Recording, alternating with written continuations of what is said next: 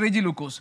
ഈ തെരഞ്ഞെടുപ്പിൽ വലിയ പ്രതീക്ഷയിലായിരുന്നു ഇടതുപക്ഷം ഉണ്ടായിരുന്നത് ഏറ്റവും ചുരുങ്ങിയത് കഴിഞ്ഞ തവണത്തേക്കാൾ ഒരു സീറ്റെങ്കിൽ ഒരു സീറ്റ് കൂടുതൽ കിട്ടിയാൽ നില മെച്ചപ്പെട്ടു എന്നൊരു അവകാശവാദവുമായി പിടിച്ചു നിൽക്കാം എന്നൊരു കണക്കുകൂട്ടലുണ്ടായിരുന്നു. ആ ഒരു അവസാനത്തെ പ്രതീക്ഷ പോലും തല്ലിക്കെടുത്തുന്ന ഒരു തെരഞ്ഞെടുപ്പ് ഫലമാണ് ഇത്തവണ വന്നത്. അതിന് കാരണങ്ങൾ പലതുണ്ടാകാം. പക്ഷേ ആ കാര്യകാരണങ്ങൾ പരിശോധിക്കുമ്പോൾ ഭരണവിരുദ്ധ വികാരത്തോടൊപ്പം സാമുദായിക സമവാക്യങ്ങളിൽ വന്നിട്ടുള്ള മാറ്റങ്ങൾ പരിശോധിക്കപ്പെടേണ്ടതാണ് എന്ന ബോധ്യം സി പി എം നേതൃത്വത്തിനുണ്ടോ? ഉദാഹരണത്തിന് ഭരണവിരുദ്ധ വികാരമടക്കമുള്ള കാര്യങ്ങൾ പരിശോധിക്കപ്പെടണം എന്ന നിർബന്ധ ബുദ്ധി ഘടകകക്ഷികൾക്കുണ്ട്. ഇപ്പോൾ ഇവിടെ സി പി എമ്മിന്റെ ഈ ഈ തൃക്കാക്കര ഇവിടെ- ഇവിടുത്തെ താഴെത്തട്ടിലുള്ള ഘടകത്തിൽ പോലും ഈ തരത്തിൽ ചില ഈ മുസ്ലിം പ്രീണനമടക്കം അതായത് സി എ പോലെയുള്ള വിഷയങ്ങളിൽ യു സി സി പോലെയുള്ള വിഷയങ്ങളിലൊക്കെ ഒരു അമിതമായ പ്രീണന സ്വഭാവം ഉണ്ടായിരുന്നു. അല്ലെങ്കിൽ അതൊക്കെ തിരിച്ചടിയായിട്ടുണ്ടോ എന്ന് പരിശോധിക്കണം എന്നൊക്കെയുള്ള വികാര പ്രകടനങ്ങൾ അത്തരം അഭിപ്രായങ്ങൾ ഉയർന്നു വരുന്നുണ്ട്. ഞാൻ താങ്കളോട് ചോദ്യം ചോദിക്കുമ്പോൾ ഒരു മൂന്ന് കണക്കുകൾ പറയാൻ ആഗ്രഹിക്കുന്നു. ഒന്ന് ഈ ലോക്സഭാ തെരഞ്ഞെടുപ്പിലെ ഫലം വന്ന ശേഷം ബി ജെ പി ഒന്നാം സ്ഥാനത്തെത്തിയിട്ടുള്ള പതിനൊന്ന് നിയമസഭാ മണ്ഡലങ്ങൾ അത് ഒന്നെങ്കിൽ ഇടതുപക്ഷ എം എൽ എമാരോ അല്ലല്ലെങ്കിൽ മന്ത്രിമാരോ പ്രതിനിധാനം ചെയ്യുന്ന മണ്ഡലങ്ങളാണ്. ആരാണ് അവിടുത്തെ ബി ജെ പി മുന്നേറ്റത്തിന് കാരണക്കാർ? ഉത്തരവാദികൾ. രണ്ട് കഴിഞ്ഞ ലോക്സഭാ തെരഞ്ഞെടുപ്പിൽ തിരുവനന്തപുരത്തെ നേമം നിയോജക മണ്ഡലം ഒഴികെ ബാക്കി എല്ലാ മണ്ഡലങ്ങളിൽ രണ്ടാം സ്ഥാനത്ത് യു ആയിരുന്നു. ഈ തെരഞ്ഞെടുപ്പിൽ ആറിടത്ത് ഇടതുമുന്നണിയും അഞ്ചിടത്ത് യു ഡി എഫും മൂന്നാം സ്ഥാനത്താണ്. ഇനി മറ്റൊരു കണക്ക്. ബി ജെ പി രണ്ടാം സ്ഥാനത്തെത്തിയ എട്ട് നിയമസഭാ മണ്ഡലങ്ങളിൽ ഇടതുമുന്നണി മൂന്നാം സ്ഥാനത്താണ്. അപ്പോൾ ഈ കണക്കുകളൊക്കെ ഇടതുമുന്നണിയുടെ പരമ്പരാഗത വോട്ട് ബേസിൽ വലിയ വിള്ളലുണ്ടായിട്ടുണ്ട് എന്നതിന് ഉത്തമമായ തെളിവുകളാണ്. അങ്ങനെയാണെങ്കിൽ ഈഴവ വോട്ടുകൾ. അത് മലക്കം മറഞ്ഞു എന്ന് വെള്ളാപ്പള്ളി പറയുന്നതിൽ എന്താണ് തെറ്റ്? അങ്ങനെ നോക്കിക്കഴിഞ്ഞാൽ അതിന്റെ കാരണം ഇടതു മുന്നണി കണ്ടുപിടിക്കണ്ടേ? ഗോപികൃഷ്ണന് ബഹുമാനപ്പെട്ട വെള്ളാപ്പള്ളിക്ക് എന്ത് അഭിപ്രായം പറയാനുള്ള സ്വാതന്ത്ര്യമുണ്ട്? സമയസമയം അനുസരിച്ച് അഭിപ്രായങ്ങൾ മാറി പറയുന്നൊരു വിദ്യ വ്യക്തിയാണ് അദ്ദേഹം. അദ്ദേഹത്തിനോടുള്ള ബഹുമാനം നിലനിർത്തിക്കൊണ്ട് ഞാനൊരു കാര്യം പറയാം. ഈഴവ വോട്ടുകൾ മുഴുവനും ബി ജെ പിയിലേക്ക് പോയെങ്കിൽ ബി ജെ പിയുടെ വോട്ട് ഷെയർ എന്ന് പറഞ്ഞാൽ കേരളത്തിൽ ഏതാണ്ട് ഇരുപത്തെട്ട് ശതമാനത്തോളം വരും. അതിനൊരു ഉദാഹരണം പറയാം. അതായത് ഭേദപ്പെട്ട എനിക്കൊരു കണ്ടൻഷൻ ഉള്ളത് ഇഴവ വോട്ടുകൾ മുഴുവൻ പോയി എന്നല്ല അതിൽ വിള്ളലുണ്ടായി എന്നാണ്. എനിക്ക് വോട്ട് അല്ല അതെനിക്ക് മനസ്സിലായി. അത് തീർച്ചയായിട്ടും അദ്ദേഹത്തിന്റെ പ്രസംഗം ഞാൻ കേട്ടതാണ് അദ്ദേഹത്തിന്റെ ലേഖനം ഞാൻ വായിച്ചതാണ്. ഞാൻ പറഞ്ഞു വെച്ചാൽ ഇപ്പോൾ ഈ കണക്കനുസരിച്ചാണ് പറയുന്നത്. ഇപ്പോൾ കോട്ടയം നിയോജകമണ്ഡലം എടുക്കൂ. കോട്ടയം ലോക്സഭാ മണ്ഡലത്തിൽ മത്സരിച്ചത് Tushar വെള്ളാപ്പള്ളിയാണ്. B J B D J എസിന്റെ സംസ്ഥാന പ്രസിഡന്റ്. പ്രചരണ പ്രചരണങ്ങളാണ്. കാരണം ഞാൻ ഈ കോട്ടയം ജില്ലയിലെ വോട്ടറാണ് പ്രചരണങ്ങളാണ് അവർ പ്രത്യേകിച്ച് വൈക്കം ഏറ്റുമാനൂർ കോട്ടയം പാല പോലുള്ള സ്ഥലങ്ങളിൽ പ്രചരിപ്പിച്ചത്. അതിനകത്ത് അവർ ഉപയോഗിച്ച ചില തന്ത്രങ്ങളുണ്ട്. അതൊന്നും ഞാൻ ഈ ചർച്ച പറയാൻ ആഗ്രഹിക്കുന്നില്ല. പക്ഷേ കോട്ടയത്ത് കഴിഞ്ഞ തവണ രണ്ടായിരത്തി പത്തൊമ്പതിൽ കിട്ടിയേക്കാൾ കേവലം പതിനായിരം വോട്ട് മാത്രമേ ഉള്ളൂ ബി ജെ പിക്ക് ഇവിടെ വോട്ട് ഷെയർ വർദ്ധിപ്പിക്കാൻ പറ്റിയിട്ടുള്ളൂ. അത് സാക്ഷാൽ തുഷാർ വെള്ളാപ്പള്ളി മത്സരിച്ചതിന്റെ പേരിൽ. പിന്നെ വേറൊരു കാര്യം വരുന്നത്. നേരത്തെ പറഞ്ഞ രണ്ട് കാരണങ്ങളിൽ പ്രസക്തിയുണ്ട്. ബഹുമാനപ്പെട്ട ഗോവിന്ദ മാഷ് എന്ന് അതിനോട് തുറന്നു പറഞ്ഞിട്ടുണ്ട്. ഭരണത്തെ വിരുദ്ധ ഒരു വികാരം കേരളത്തിൽ ഉണ്ടായിരുന്നു. അതിന്റെ കാരണങ്ങൾ എന്തുകൊണ്ടാണ് അത് നമ്മൾ പ്രധാനമായിട്ടും ചിന്തിക്കേണ്ട രണ്ട് വിഷയങ്ങളാണ്. ഒന്ന് പിന്നെ ക്ഷേമ പെൻഷനുകൾ പിന്നെ മുടങ്ങിയത്. കുറേ നാളുകളായിട്ട് മുടങ്ങി ഏതാണ്ട് ആറ് മാസക്കാലത്തേക്ക് അത് മുടങ്ങി. ഇതിനിടയ്ക്ക് ഒന്ന് പ്രാവശ്യം കൊടുത്തെങ്കിലും മുടങ്ങി. അതിന്റെ കാരണം എന്താണെന്ന് സാമ്പത്തിക ഞെരുക്കം എങ്ങനെ സംഭവിക്കുന്നതിനെക്കുറിച്ച് ജനങ്ങൾ ചിന്തിച്ചില്ല. അത് ഫലപ്രദമായിട്ട് തന്നെ പ്രതിപക്ഷം അത് ക്യാമ്പയിൻ ചെയ്തു.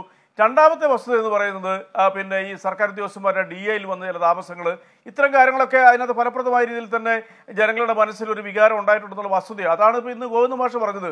ഏറ്റവും പ്രധാനപ്പെട്ട ആരോപണമൊന്നുമല്ല നേരത്തെ ഗോപികൃഷ്ണനോട് പറഞ്ഞത് തന്നെയാണ് മുസ്ലിം പ്രേരണം പ്രീണനം അനാവശ്യമായ മുസ്ലിം പ്രീണനം പിന്നെ സി പി എമ്മിനുണ്ടെന്നുള്ളൊരു ദുഷ്പ്രചരണം കേരളത്തിൽ ഉടനീളം അഴിച്ചുവിട്ട് എന്റെയൊക്കെ ഞങ്ങളുടെയൊക്കെ കോട്ടയം ജില്ലയിലേക്ക് അതൊക്കെ വ്യാപകമായിട്ട് പ്രചരിപ്പിച്ചു. അതിൽ ചെറിയ രീതിയിലുള്ള എഫക്റ്റ് സി പി എമ്മിനെതിരെ സംഭവിച്ചിട്ടുണ്ടെന്നുള്ള വസ്തുതയാണ് പക്ഷെ സത്യം എന്താണ്? അങ്ങനെ താങ്കൾ വിലയിരുത്തുന്നുണ്ടോ? മുസ്ലിം പ്രീണനം എന്നത് ഈ തെരഞ്ഞെടുപ്പിൽ ഇടതുപക്ഷത്തിന്റെ ഒരു തെറ്റായ പ്രയോഗമായിരുന്നു അല്ലെങ്കിൽ തെറ്റായ ഒരു സ്ട്രാറ്റജി ആയിരുന്നു എന്ന് താങ്കൾ വിലയിരുത്തുകയാണോ? ഇപ്പൊ പലസ്തീൻ വിഷയത്തിൽ അതേപോലെ തന്നെ സി എയുടെ വിഷയത്തിൽ ഈ ഏക പിന്നെ യു സി സിയുടെ കാര്യത്തിലൊക്കെ പൗരത്വ നിയമത്തിന്റെ കാര്യത്തിലൊക്കെ അമിതമായ പ്രാധാന്യം നൽകിക്കൊണ്ട് അവരെ ഒപ്പം നിർത്താൻ വേണ്ടി ബോധപൂർവമായ ഒരു രാഷ്ട്രീയ ശ്രമമുണ്ടായി. എന്ന് താങ്കൾ വിലയിരുത്തുമോ?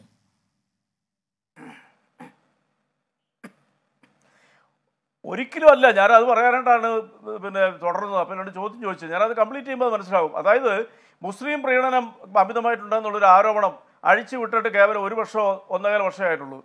അതിനു മുമ്പാണ് ഈ മണിപ്പൂർ വിഷയം ഉണ്ടായത്. മണിപ്പൂർ വിഷയത്തിൽ മണിപ്പൂരിൽ ആദ്യം ലാൻഡ് ചെയ്ത ദേശീയ നേതാക്കളിൽ ഒരാൾ സീതാറാം യെച്ചൂരിയ. കേരളത്തിൽ എത്രയോ സ്ഥലങ്ങളിൽ ഞാൻ പിന്നെ ഡിവൈഎഫ്ഐ പോലുള്ള സന്നദ്ധ സംഘടനകൾ ഇവിടെ വലിയ രീതിയിലുള്ള പ്രതിഷേധം ഉയർത്തി മുഖ്യമന്ത്രി പിണറായി വിജയൻ പ്രതിഷേധം ഉയർത്തി.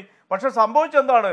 പാലസ്തീൻ വിഷയത്തെ ദുരുപയോഗം ചെയ്തു. സി പി എമ്മിനെ സംബന്ധിച്ചോളം ഗോപികൃഷ്ണ അടിസ്ഥാനപരമായിട്ടൊരു വസ്തുതയുണ്ടെങ്കിൽ എവിടെ ജനങ്ങൾ പീഡിപ്പിക്കപ്പെടുന്നു അവരോടൊപ്പം നിൽക്കുന്ന ഒരു പാർട്ടിയാണിത്. അത് മുസ്ലിം ഒരു സമുദായത്തിനെ പതിനായിരക്കണക്കിന് മുസ്ലിം വിശ്വാസ സമൂഹത്തെ ഗാസയിൽ കൊന്നൊടുക്കിയപ്പോൾ അവർക്ക് ഐക്യദാർഢ്യം പ്രഖ്യാപിച്ചത് ഈ സി പി എം മാത്രമല്ല ലോകത്തിലെല്ലാ മിക്കവാറും എല്ലാ രാജ്യങ്ങളിലും ഉണ്ട് ഏറ്റവും കൂടുതൽ പ്രതിഷേധം അരങ്ങേറുന്നത് അമേരിക്കയിലാണ്. അമേരിക്ക മുഴുവൻ മുസ്ലിംസ് ആണോ യൂറോപ്യൻ രാജ്യങ്ങളിൽ എത്രയോ പ്രതിഷേധം വന്നു. പക്ഷേ കേരളത്തിൽ അത് ബി ജെ പി ഫലപ്രദമായിട്ട് ഉപയോഗിച്ചു. ഇല്ലെന്ന് ഞാൻ പറയുന്നില്ല അതൊരു സത്യസന്ധമായ കാര്യങ്ങളാണ് പക്ഷേ ജനങ്ങളത് തിരിച്ചറിയും. അല്ല അത് ബോധ്യപ്പെടുത്താൻ അത് അത് അങ്ങനെയാണെങ്കിൽ അത് ബോധ്യപ്പെട്ട് ബോധ്യപ്പെട്ടിട്ടില്ല. എസ് എൻ ഡി പി പോലെയുള്ളൊരു സമുദായ സംഘടനയ്ക്ക് എന്നതിന് തെളിവല്ലേ? നമ്മൾ വേലുകെട്ടാൻ മാത്രം വിധിക്കപ്പെട്ടവർ എന്ന തലക്കെട്ടിൽ ഇങ്ങനെ ഒരു പത്രത്തിൽ വെള്ളാപ്പള്ളി നടച്ചന് ലേഖനം എഴുതേണ്ടി വന്നത്.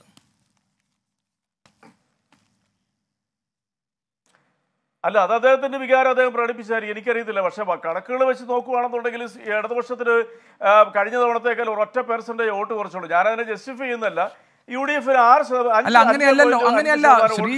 റെജി ലൂക്കോസ് താങ്കൾ എന്നേക്കാൾ ഈ കാര്യത്തെ കുറിച്ച് നല്ല ധാരണയുള്ള ധാരണയുള്ളതാണല്ലോ. അങ്ങനെയല്ലല്ലോ നമ്മൾ ആ ആ വോട്ടിന്റെ കണക്കല്ലല്ലോ ഇവിടെ പ്രസക്തമായിട്ടുള്ളത്. ഇവിടെ പ്രസക്തമായിട്ടുള്ളത് പതിനൊന്ന് നിയമ നിയമസഭാ മണ്ഡലങ്ങളിൽ ബി ജെ പി ഒന്നാം സ്ഥാനത്തെത്തിയ സാഹചര്യം എന്താണ്? ഈ നിയമസഭാ മണ്ഡലങ്ങളിൽ ഇടതുപക്ഷ എം എൽ എമാരോ മന്ത്രിമാരോ പ്രതിദാനം ചെയ്യുന്ന മണ്ഡലങ്ങളാണ്. ആരാണ് അതിന്റെ ഉത്തരവാദിത്തം ഏറ്റെടുക്കേണ്ടത്? കഴിഞ്ഞ ഈ ബി ജെ പി രണ്ടാമതെത്തിയ എട്ട് നിയമസഭാ മണ്ഡലങ്ങളിൽ എൽ ഡി എഫ് ഇടതുമുന്നണി മൂന്നാം സ്ഥാനത്തേക്ക് പോയതിന്റെ ഉത്തരവാദിത്വം ആർക്കാണ് പിന്നെ ഈ ആലപ്പുഴയിലെ കാര്യം ആറ്റിങ്ങലിലെ കാര്യം തൃശ്ശൂരിലെ കാര്യം ഇവിടെയൊക്കെ ഈ ഈ പിന്നാക്ക വിഭാഗക്കാരുടെ വോട്ടുകൾ ബി ജെ പിയിലേക്ക് പോയിട്ടുണ്ടെങ്കിൽ അതിന്റെ രാഷ്ട്രീയ കാരണം എന്താണ്? മറുപടി പറയേണ്ടത് സി പി ഐ എം ആണ്. അല്ല ഒരു നല്ല ചോദ്യമാണ്. കാരണം തെറ്റിദ്ധാരണ പിന്നെ നീക്കാൻ പറ്റുന്ന ഏറ്റവും നല്ല ചോദ്യമാണ്. ഇപ്പം നമ്മൾ മനസ്സിലാക്കേണ്ട വസ്തുത എന്ന് പറയുന്നത് പതിനൊന്നോളം നിയോജകമണ്ഡലത്തിൽ അത് ഞങ്ങളുടെ മന്ത്രിമാരുണ്ട്. പിന്നെ ഇടതുപക്ഷത്തിന് വലിയ രീതിയിലുള്ള മേൻകൈയുള്ള മണ്ഡലങ്ങളിൽ പിന്നെ ബി ജെ പി മുന്നിൽ വന്നത് പരിശോധിക്കേണ്ടത് തന്നെ ഒരു തർക്കമല്ല കാര്യത്തിൽ. അത് വർഗീയ ഫാസിസ്റ്റ് ശക്തികളുടെ അനുകൂലമായി അങ്ങനെ ഒരു വോട്ട് പറഞ്ഞുവെങ്കിൽ കേരളത്തിലെ എല്ലാ യു ഡി എഫും സി പി എമ്മും പരിശോധിക്കേണ്ട. ഇടതുപക്ഷം പരിശോധിക്കേണ്ട. ഇപ്പം ഞാനൊരു ഉദാഹരണം പറയാം. തൃശ്ശൂർ നടത്ത ക്യാമ്പയിൻ എന്താന്ന്? ഗോപികൃഷ്ണൻ എന്റെക്കാൾ അറിയാലോ. തൃശ്ശൂർ വീട് വീടാന്തരം കയറിക്കൊണ്ട് ഈ പറയുന്ന ന്യൂനപക്ഷ മുസ്ലിംകൾക്ക് വേണ്ടിയിട്ടുള്ള ന്യൂനപക്ഷ പ്രകടനം നടത്തുന്നു. ഈ പിന്നെ എന്താ പറയുക ക്രിസ്ത്യൻ സമൂഹത്തിൽ അരക്ഷിതാവസ്ഥയിലാണ് വോട്ട് വേണമെന്ന് പറഞ്ഞുകൊണ്ട് തെറ്റിദ്ധരിപ്പിച്ചുകൊണ്ട് തൃശ്ശൂർ മേഖലയിൽ ഇടതുപക്ഷത്തിന് ഭൂരിപക്ഷമുള്ള പല മേഖലകളിലും ക്യാമ്പയിൻ നടത്തിയതിന് ഫലമായിട്ട് കുറേ ആളുകൾ തെറ്റിദ്ധരിക്കപ്പെട്ടിട്ടുണ്ട്. അവർ അത് ഒരു- തർക്കമില്ല കാര്യത്തിൽ കേരളത്തിൽ ബി ജെ പി ഒരു സീറ്റ് വിജയിച്ചതിലും അതുപോലെ തന്നെ ഈ പതിനൊന്നോളം സീറ്റുകളിൽ ഇടതുപക്ഷത്തിന്റെ സീറ്റുകളിൽ ഭൂരിപക്ഷം കിട്ടിയതും പരിശോധിക്കപ്പെടേണ്ടത് തന്നെയാണ് യാതൊരു തർക്കവുമില്ല. അതിനെ വേറെ ഏതെങ്കിലും ആംഗിളിൽ ന്യായീകരിക്കുന്ന മണ്ടത്തരമായിരിക്കും അത് ബഹുമാനപ്പെട്ട ഗോവിന്ദ ഇന്ന് ഓൺ ചെയ്തിട്ടുണ്ട്. ഒരു സംശയമില്ല കാര്യത്തിൽ രണ്ടായിരത്തി പത്തൊമ്പതിലെ നിയമസഭാ തെരഞ്ഞെടുപ്പിൽ നൂറ്റി ഇരുപത്തൊന്ന് സീറ്റുകൾ ഞങ്ങൾ അല്ല ലോക്സഭാ തെരഞ്ഞെടുപ്പിൽ പുറയിലായിരുന്നു. അത് വെച്ചുകൊണ്ട് ഞാൻ കമ്പയർ ചെയ്യുന്നില്ല. ഒരു കാര്യം കറക്റ്റാണ് ഒരു കാര്യം വളരെ വ്യക്തമാണ്. ഉത്തരേന്ത്യ നേരത്തെ എന്നോട് ചോദിച്ചല്ലോ മുസ്ലിം പ്രകടനത്തിന്റെ കാര്യത്തിൽ. ഒരു ഒരു ഒരു ചോദ്യം എന്നോട് ചോദിച്ചു. ഞാൻ ചോദിക്കട്ടെ ഇടതുപക്ഷം ഇവിടെ മുസ്ലിം പ്രീണനം നടത്തിയെങ്കിൽ മുസ്ലിം പ്രീണനം എന്ന് പറയുന്ന സി എന്ന് പറയുന്ന ആ എന്താ പറയുക പൗരത്വ വിരുദ്ധ നിയമത്തിനെതിരെ രണ്ടാമത്തെ പ്രമേയം പാസ്സാക്കിയത് യുനാനിമസ് ആയിട്ട് കേരളത്തിലെ നിയമസഭയാണ് അതിനെതിരെ രാജ്യവ്യാപകമായിട്ട് മതേതര വിശ്വാസികൾക്ക് പിന്നെ പ്രതിഷേധം ഉയർത്തി. അതുകൊണ്ടല്ലേ ഫൈസാബാദ് ഉൾപ്പെടെയുള്ള മുസ്ലിം ഭൂരിപക്ഷമുള്ള അല്ല ഈ ഭൂരിപക്ഷം പോലും ഇല്ലാത്ത പ്രദേശങ്ങളിൽ എന്തുകൊണ്ടാണ് ഉത്തരേന്ത്യയിലും ഇവർ ബി ജെ പി തോറ്റുപോയത്? അപ്പോൾ അതിന്റെ കാരണം എന്തുകൊണ്ടാണ് ഇതുപോലത്തെ നിയമങ്ങൾക്കെതിരെ എല്ലാ വിഭാഗത്തിൽപ്പെട്ട ജനങ്ങൾ പ്രതികരിക്കുന്നുണ്ട്. ഉത്തർപ്രദേശ് ഏറ്റവും വലിയ തെളിവാണത്. അപ്പൊ അതിനുകൊണ്ട് നമ്മൾ അതിന്റെ ഡീറ്റെയിലേക്ക് വരണം. കാരണം എന്താന്ന് പറഞ്ഞാൽ ഈ വിഷയത്തിൽ മാത്രമല്ല എസ് എൻ ഡി പി യോഗത്തിന് അതൃപ്തിയുള്ളത്. അദ്ദേഹത്തിന്റെ ലേഖനത്തിൽ പറയുന്ന ഒരു കാര്യം കാലാകാലങ്ങളായി ഈ ന്യൂനപക്ഷ വിഭാഗങ്ങളെ പ്രീണിപ്പിക്കുന്ന ഒരു സമീപനം കേരളത്തിൽ യു ഡി എഫിനും ഇടതുമുന്നണിക്കും ഉണ്ട് എന്നതാണ്. അങ്ങനെ പറഞ്ഞുകൊണ്ടാണ് അദ്ദേഹം സ്പെസിഫിക് പോയിന്റിലേക്ക് വരുന്നത്. ഏതായാലും നമുക്കത് ചർച്ച ചെയ്യാം.